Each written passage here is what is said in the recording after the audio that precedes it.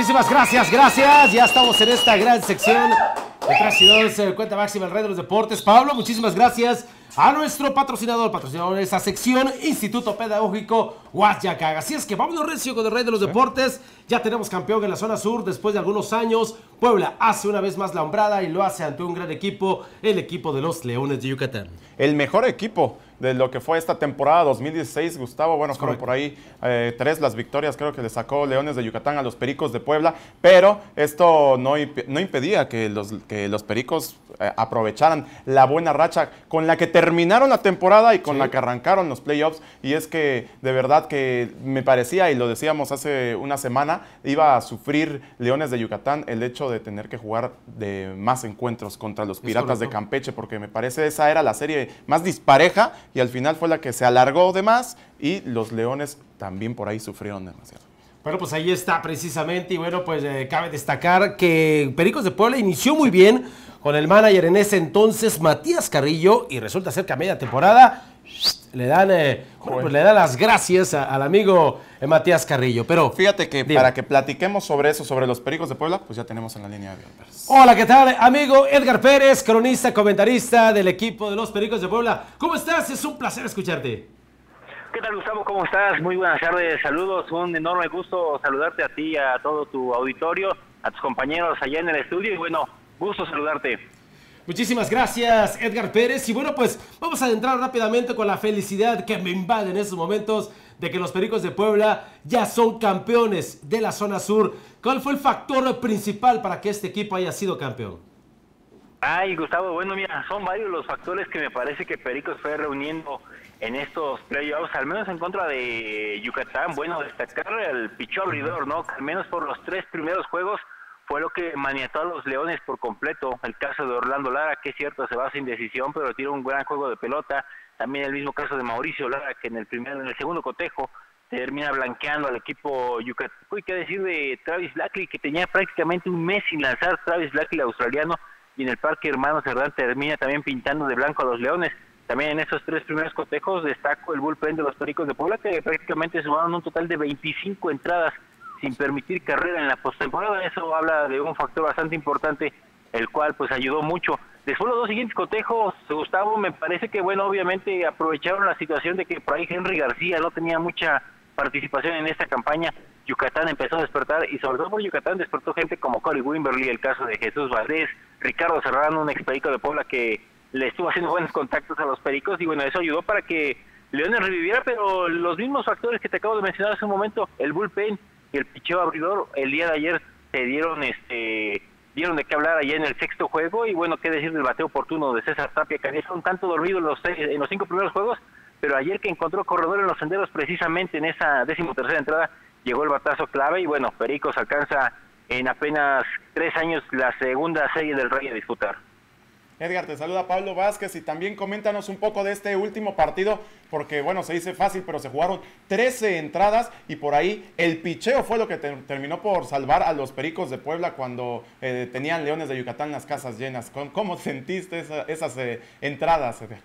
¿Qué tal, Pablo? Mucho gusto, un gusto conocerte, gusto platicar contigo. Sí, fíjate que el juego de ayer lo que comentabas un momento, el hecho del picheo de relevo, Dante Hit, fíjate que en la campaña regular por ahí en varias ocasiones nos tuvo como que al filo de la butaca. Ayer se vio bastante bien, la verdad.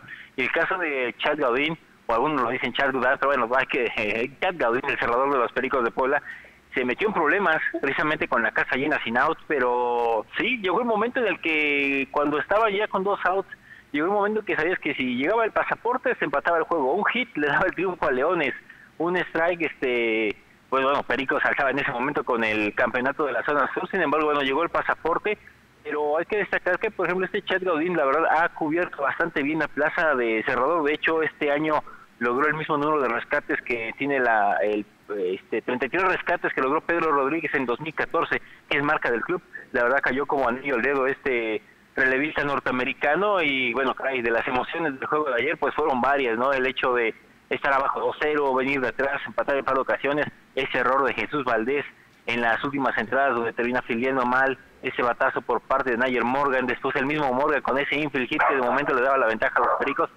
Fue un partido lleno de emociones donde se vio picheo, bateo, fileo y obviamente bateo oportuno, ¿no? Y también la mala suerte del jardinero derecho en el último batazo de Tapia, ¿no? Donde le termina picando mal la pelota a este José Aguilar, que también dio una gran serie, y eso permite que Rubén Rivera, un veterano de 43 años, desde primera colchoneta llegara barrido de cabeza hasta el plato. Oye, Edgar eh, Pérez, bueno, pues de cierta manera, hoy es también eh, se define en la zona norte entre el equipo de los Sultanes de Monterrey y los Toros de Tijuana. Favorito de cierta manera para que pueda enfrentarse el equipo de los Pericos de Puebla ya, pues lo que es la Serie del Rey. Pues fíjate, Gustavo, que me uno con toda la comitiva que dicen que el que sea es bueno, porque a final de cuentas digo, abre el norte en casa. Con Tijuana, Tijuana fue a ganarle serie a los Pericos. De hecho, tanto Tijuana como Monterrey, los dos le ganaron serie, serie a los Pericos de Puebla en el Parque Hermano Cerdán. Me parecen los dos unos equipos muy fuertes. Sobre todo el caso de Tijuana, por ejemplo, en picheo se me hace un poco más completo que los Sultanes de Monterrey. Sultanes me parece que depende mucho de su 1-2, Edgar González y Javier Solano pero el caso de Tijuana tiene mucho pelotero de doble nacionalidad que me parece que puede complicarle la vida a Pericos de Puebla en cuestión de picheo, pero los dos los veo muy fuertes. ¿eh? Yo siento que el día de hoy es prácticamente un auténtico volado entre Tijuana y Monterrey. Y bueno, a veces uno cuando está a media temporada, los mismos jugadores, algunos no aprovechan el ir a un juego de estrellas y bueno, como lo comentas, en la zona norte gana después de muchos años y ahora va a recibir el partido ya sea Sultanes o Toros eh, a, los Pericos de Puebla. Y bueno, ¿cómo se encuentra el equipo de Pericos? Pues son solamente dos días los que van a tener por ahí de descanso para arrancar la serie del Rey. Sí, fíjate que el caso de Pericos, al menos en esta situación de lo del juego de estrellas, sí lo termina afectando, porque al final de cuentas Pericos tuvo mejor marca que cualquiera de esas dos novenas. Por eso digo que ya no te importa tanto el hecho de quién gane. Digo, a final de cuentas vas a terminar jugando el juego 3 y 4 en casa.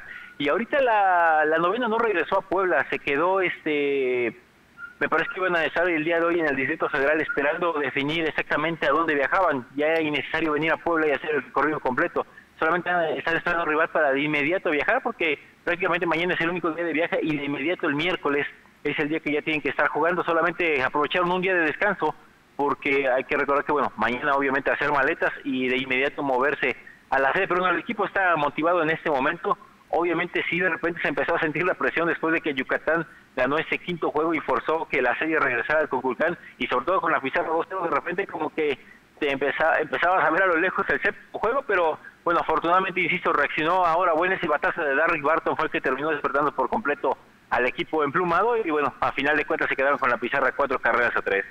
Bueno, rápidamente, Edgar, este, Corey Snyder, el manager del equipo de los Pericos de Puebla, ya tiene pensado quiénes serán los pitchers abridores para arrancar ya la serie del Rey. Mira, lo que es un hecho, este, me parece que para este primer cotejo, me yo creo que va a apostar por Orlando Lara. Aún no la define, ¿eh? no, no, ha no ha definido la, la rotación aún Corey Snyder. Orlando Lara hay que recordar que abrió el pasado jueves. Para el miércoles me parece que reúne sus días de descanso, que de hecho ha sido el pitcher que más ha estado tirando por parte de los Pericos de Puebla. Y me parece que para el segundo veríamos al australiano Travis Blackley, que lanzó siete entradas en blanco en contra de los Leones de Yucatán. Y ya veríamos en Puebla a Mauricio Lara. El cuarto abridor a mi parecer, insisto, aún no maneja nada este Corey Snyder, pero me parece que por ahí podrían dar la sorpresa con el México norteamericano West Torres, que tuvo una excelente segunda vuelta en la Liga Mexicana de Béisbol. En la, a inicio de campaña era parte de la rotación, pero habría que aposarle el mala suerte porque registró de inmediato un 0-4, de hecho terminó 1-6, pero en la segunda vuelta, Gustavo, de todos los relevos que realizó en 10 apariciones, más de 30 entradas, por ahí solamente permitió una carrera en playoff, apenas recibió un par de carreras, traía una inercia bastante buena este México norteamericano y me parece que él podría ser considerado como el cuarto abridor de los Pericos de Puebla. Claro, también esperando que Héctor Galván regrese al roster de los Pericos de Puebla. Sobre eso, ¿tiene cuenta con todo el equipo en estos momentos? ¿Está sano para iniciar la Serie del Rey? Sí, de hecho, te comentaba, la única baja probable era la de Héctor Galván, y es que en la serie en contra de los Leones de Yucatán fue desactivado del roster. Por ahí tuvo este un malestar en cuestión de salud y tuvo que irse a checar este, fuera del estado de Puebla. Es por eso que fue desactivado. Afortunadamente está bien, está totalmente recuperado Héctor Galván. Para esta serie del Rey estará totalmente activado otra vez y me parece bueno, ya ahí contará con un brazo más uh, Corey Snyder, que, bueno, le costó trabajo en esta serie de repente armar porque se tuvo que volver a confiar en Henry García, que, insisto, Ay, sí, siento que fue un riesgo el hecho de colocar un lanzador. Es cierto, tiró bien, pero solamente te tiró tres partidos en campaña regular. Bueno, pues excelente, Edgar. En verdad, eh, muchísimas gracias por esta gran información, ya que de cierta manera tenemos campeón en la zona sur. Se trata del equipo de los Pericos de Puebla. ¿Algo que quieras concluir y decirle a la afición acá en el estado de Oaxaca? Caray, no, pues gracias por el contacto y este que pues sigue la serie, la, serie del Rey que apoyan a los Pericos de Puebla. Ojalá a ver cómo nos va en esta en esta serie, Gustavo. Y bueno, saludos a Nayeli. igualmente. Pues, ah, pues igualmente. Te manda saludos, Nayeli.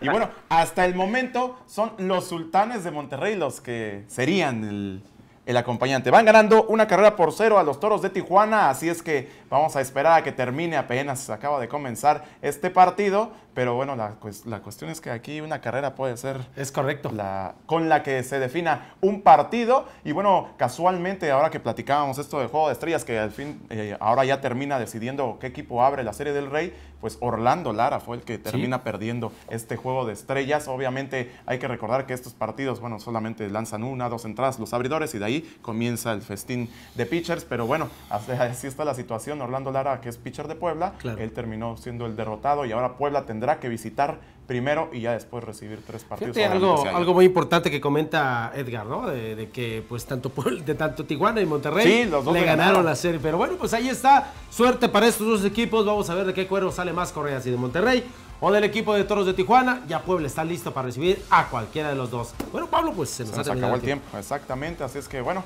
ya estaremos platicando mañana de quién es el que va a acompañar en la final de la Serie del Rey a los Pericos de Puebla. Mientras tanto, rápidamente les recomendamos que si están buscando la mejor educación, el Instituto Pedagógico Huasyacac, Educación Primaria con maestros altamente calificados y un plan de estudios incorporado a la SEP es su mejor opción. Además, cuentan con instalaciones como biblioteca interactiva, comedor escolar y estancia infantil, atención extracurricular, viajes de estudio y seguro escolar. Instituto Huasyacac, construyendo tu futuro. Vámonos a un corte. Pues claro que sí, vámonos rápidamente. Regresamos con más de MBM Deportes. face.